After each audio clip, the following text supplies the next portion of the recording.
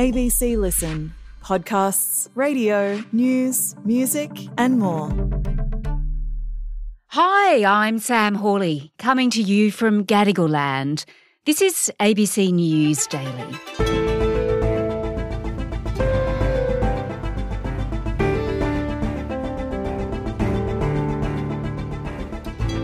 If you're listening right now, you're probably not a news avoider, someone who's checked out of consuming what's happening in the world.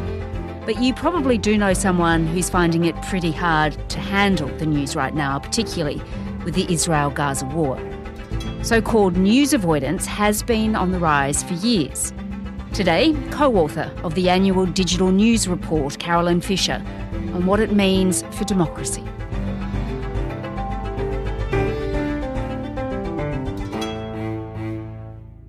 Carolyn, I want to talk about how we consume news and this term news avoidance and what that means and the data that we have on it. So let's come to that. I gather most people listening now are not news avoiders, but it is difficult to watch at the moment, isn't it, with the Israel Gaza war? It's confronting. It is confronting.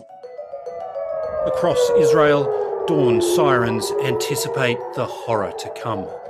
Israeli rescue workers are still finding more bodies, another hundred in the tiny farming community of Be'eri. Scenes of sheer desperation after deadly explosions in Khan Yunis, a refugee camp in southern Gaza. I think if it was the only negative thing happening in the world, people might cope with it better, but it comes on top of a couple of years of very heavy, negative, confronting issues, which are then covered by the news. And I think cumulatively, that has a real impact on people. It weighs on people, and they do start to avoid news, you know, mm. to protect themselves.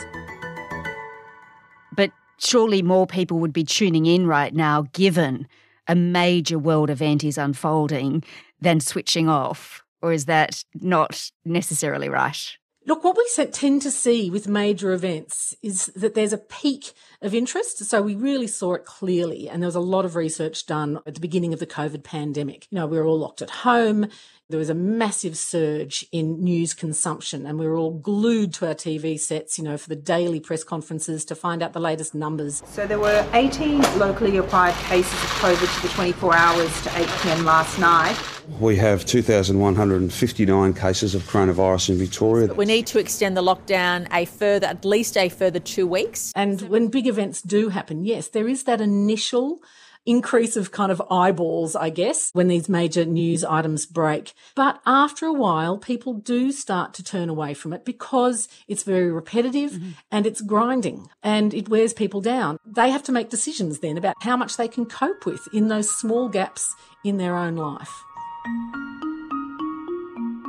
Mm, all right, well, Carolyn, let's unpack this term news avoidance because studies show more and more people are switching off. So, what do we know? So, this year we've been asking this question in the annual survey of the Digital News Report Australia, which is part of a big global survey with 46 countries. This year, 69% of Australians said that they avoid news sometimes, occasionally, or often. And that's the second highest, actually, uh, level among the 46 countries in the survey. And it actually marks a 16 percentage point rise in news avoidance since 2017. Mm. So it's quite sharp. Mm. You know, it's not that everyone's turning their back on news altogether, it's that people are making selective and intelligent decisions about you know, when they consume news and what types of topics they want to pay attention to. Mm, it's more prevalent among women. Absolutely. Women avoid news more than men. Young people avoid news as well, and more than older people. Australian women are much less interested in news than men, and they consume much less of it.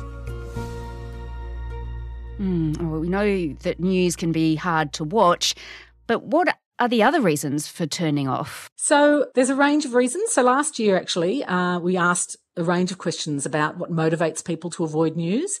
Nearly half, so 49%, said that, you know, they avoid it because there's too much coverage of politics. Mm-hmm. But, you know, 44% of people said that they avoid news because it has a negative impact on their mood. interesting. Nearly a third say that they're worn out by the sheer amount of news that floods their lives. A similar proportion say that they find news untrustworthy and biased, mm-hmm. and so that's why they avoid it. Around 16% said that the news makes them feel hopeless, that they feel that there's nothing that they can do with the information that they receive. We mentioned their bias. In a recent Andrew Olle lecture, my colleague Leigh Sales identified bias as one of the key reasons that she thinks people are avoiding news. Some reporters prefer to be activists and crusaders rather than fact finders or straight reporters. They enjoy their heroic status among the tribes of social media or their own subscribers. I'm not sure they can even identify their own bias. She says a lot of consumers just want objective and impartial reporting. They can still get that though, can't they? They can. It is absolutely available. There's just a huge choice out there, and I think people need to know where to go to get that quality news. But she's absolutely right. All of the research shows, you know, um, our research, international research shows that, you know, perceptions of bias are the key driver mm-hmm. to low trust in news. It's interesting because audiences are really aware that, you know, journalists have their own personal perspectives, they have their own political leanings and their own attitudes, beliefs, life experience, and they think it's unrealistic to think that journalists aren't going to bring that to their work. The key thing is about the political interests and commercial interests of news organisations. Mm. That's a really big driving factor we do find that the majority of Australians do say they want impartial, independent news. But can I say it's very generational? Mm. So it's older Australians who want that.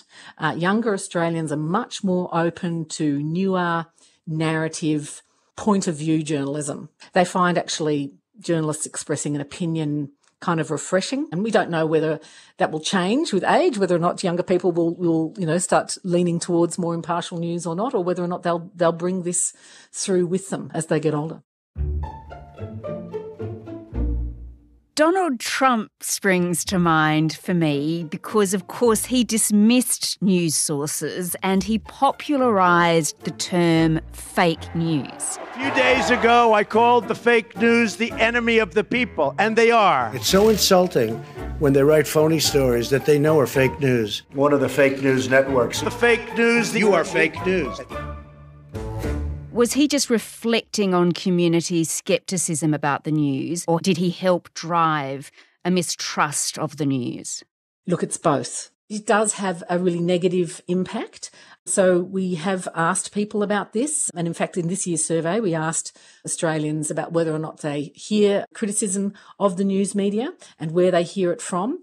In Australia, they're most likely to hear it from their friends and family, 44%, and 38% said that they hear it from politicians. Now, unsurprisingly, in the US, 58% said that they hear criticism of the news media from politicians. Yes. What's interesting, the correlation there is, is that those people who say that they hear criticism of the news media a lot, their trust in news media is, is lower. It's important that our political and community leaders you know, uphold the role of a free press in, in a democracy and not denigrate it because it's, you know, it's such an important pillar. Mm, not to mention the emergence of social media, I guess. Okay, so you're quite right. It's a huge reason yes. why. Um, social media it would be a very key reason because you know, in the digital environment, it's much easier to access information and it's now much easier to avoid information. If you're on your phone, you can just scroll past it. If you're on TikTok, you know, news won't even barely come into your feed unless you, you know, specifically kind of look for it and, and filter for it, mm-hmm. curate for it. You can live on social media and really not see much news at all, uh, particularly on Facebook, which is deprioritized news. So yes, absolutely. The growing use of social media will definitely have a role to play in news avoidance because it just makes it so much easier to avoid.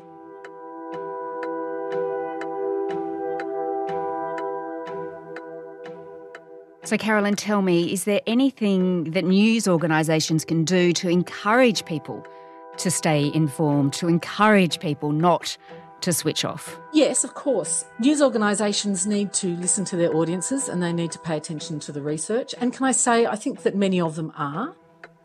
Our survey told us this year that you know more than half, 56% of um, audiences in Australia say that they prefer some you know positive stories.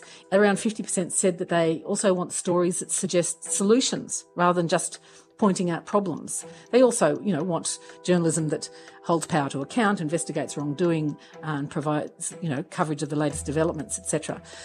So it really is, I think, about shaking it up a little bit more, a little bit more light and shade in coverage. Mm-hmm and not just going for the most conflict dripping headline that you can find. I mean, I really think that perhaps it is time to give the old adage if it bleeds, it leads, a rest. Mm-hmm, yes. and, and look towards hope a little bit more, giving people information that will be useful to them to mm-hmm. manage the huge issues that are just, you know, rocketing towards us all.